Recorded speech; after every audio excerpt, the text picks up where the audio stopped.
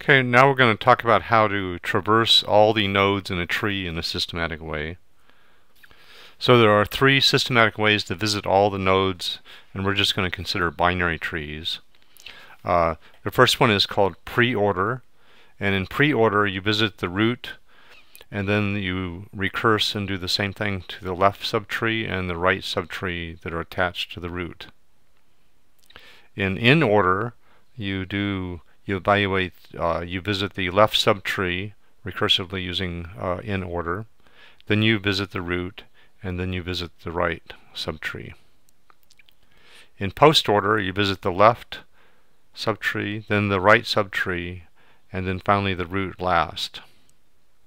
So these actually correspond to what we see when we talk about expressions. So if you remember the math expressions that we've already covered, we have prefix, infix, and postfix expressions. And the pre, in, and post refer to where the operator is relative to the two operands. So here's an expression tree that we just covered expression trees. So you can see when you put an expression into a tree, we're going to see there's a relationship between these three terms and the three terms pre, in, and post order and this shows you that relationship. Um, so if you've already memorized the pre uh, uh, prefix, infix, and postfix, and you remember this simple expression tree, you'll have the order that you visit nodes in a tree. So here's a prefix expression in math. So you have the plus followed by the two operands.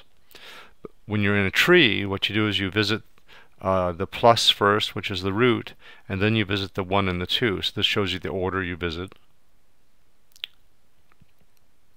Now infix is where you have the operator in the middle between the two operands. This is what we normally do in a math class.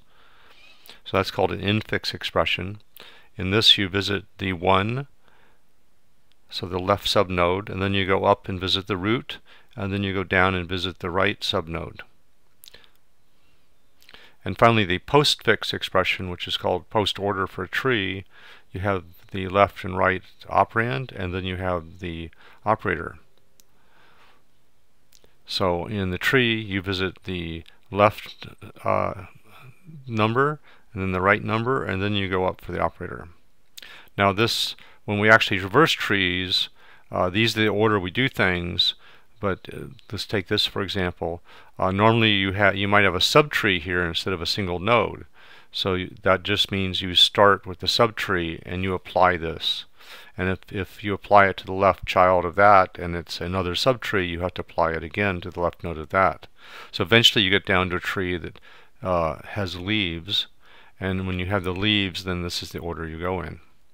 And this applies for each of these. The red arrow will show you the order that you go in so you can see the natural travel through the nodes.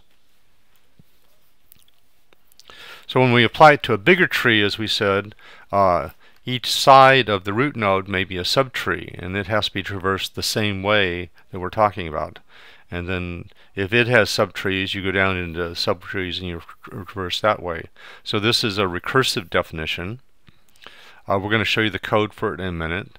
Uh, keep in mind that what we're when we're doing something with each node as we traverse, the code that they show you in this uh, chapter to, to just traverse just prints out the key of the node. So you would see the keys listed in the order that you're traversing.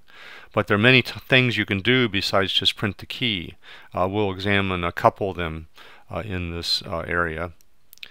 So you might be searching, so you might want to traverse all the nodes to look for a matching key you might be traversing all the nodes to sum something up about them. Uh, or you might be doing something else. Uh, so there's different things you're going to do as you traverse the nodes. So realize that the algorithm we're giving you, the code we're about to give you, just prints them. We are going to show you two others, one that evaluates an expression tree and one that uh, builds a string of the original expression. So next we're going to, we have already have a definition of a tree, the binary tree. And so if you make a binary tree, you can use this function to traverse uh, by writing it outside of the definition of the tree class. So you, you make a new tree and you pass tree. And uh, this is testing if um, we were passed a subtree that was uh, value none. So if this were evaluates false, we've been passed uh, a pointer to a left tree that there's nothing there. So in that case, we just return, and that turns out to be our base case for the recursion. But if there's a tree of any kind, uh, then what it does is it prints the root and then calls this recursively on the left and the right subtree. So if you imagine this uh, this root here is a a root with no children, then it's going to be passing none to both of the children, and it would come back in here and it would just return. So you can see how the base case works. But otherwise, it's going to recursively go down and and uh, and traverse the tree uh, correctly. Now that's pre-order. Now here's another way of writing it. We could write pre-order inside the class definition for the tree, for binary tree. So if we wrote it this way, it's going to be a method that works on the current object. So you, if you had a tree, you would you'd say that tree dot pre-order, and it would just it would traverse everything. And what it would do is it print first, same as up here, uh, but then it has to do a little different thing. Uh, it has to check the left child and see if it's uh, not empty. If it's not empty, then it's going to recurse down into it and then it checks the right child. If it's not empty, it'll uh, recurse down into that. So this basically does the same thing up as up here, but this has the advantage of being built into the, the class for tree. So all of these things we're going to show you can be written either outside or inside the class.